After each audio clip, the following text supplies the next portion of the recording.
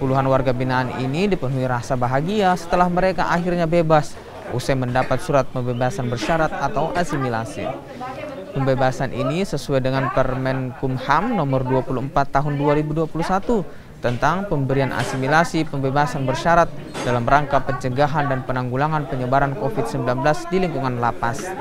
Pihak lapas kelas 2 Polewali sendiri menyambut baik program ini mengingat kondisi lapas yang sudah melebihi kapasitas.